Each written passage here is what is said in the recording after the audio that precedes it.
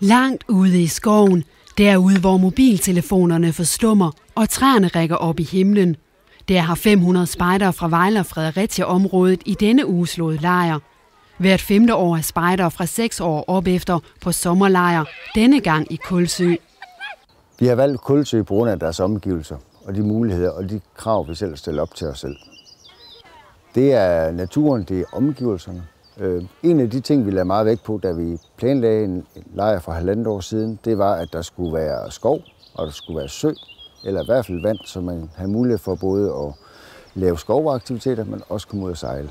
Den skov, vi har her, den lever fuldt op til det. Der er høje træer til træklatring, der er lave buske til løb og natløb, man kan gemme og lege sig i. Onsdag i sidste uge ankom de første frivillige for at bygge lejren. Lørdag ankom spejdere fra 10 år op efter. De yngste bæver og ulve fra 6 år ankom søndag. De yngste bliver tre dage, mens de ældste bliver hele ugen. Og der er masser af aktiviteter at tage fat på, blandt andet at klatre i træer. Ja, det var, det var meget øh, højt, øh, når man kommer derop. Men der er også en rigtig god udsigt.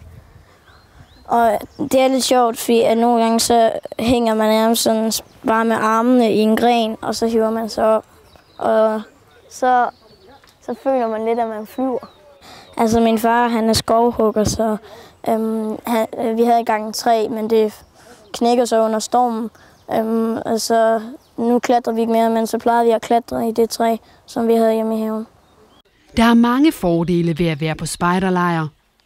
Det er sjovt at være væk fra forældrene, så altså, man, må, man må mere her på spejderlejren, end man må hjemme. Altså, vi kommer rigtig sent i seng. På spejderlejren tæller det sociale samvær også højt. Øh, det fede ved spejderlejren er nok øh, fællesskabet her. Øh, man møder mange nye mennesker, også selvom det måske ikke ligner det. Øh, øh, men selvfølgelig også er det bare at være sammen med de venner, man har, øh, spejdervenner, man har. Og så øh, er det tit, man møder venner, man, som man har mødt på andre lejre. Øh, på de her lidt større lejre, sommerlejrene. Så det er meget fedt. 12 frivillige begyndte at planlægge lejren for halvandet år siden og har løbende fået hjælp af 40 frivillige og spejderledere. Lejren er bygget op om et tema. Vi har valgt øh, Klondike-temaet i år. Øh, uh, Guldgrav og eventyr fra Alaska. Og det bygger vi lejrens tema og, og løb og koncept og det hele, det bygger vi op øh, på den tidsalder.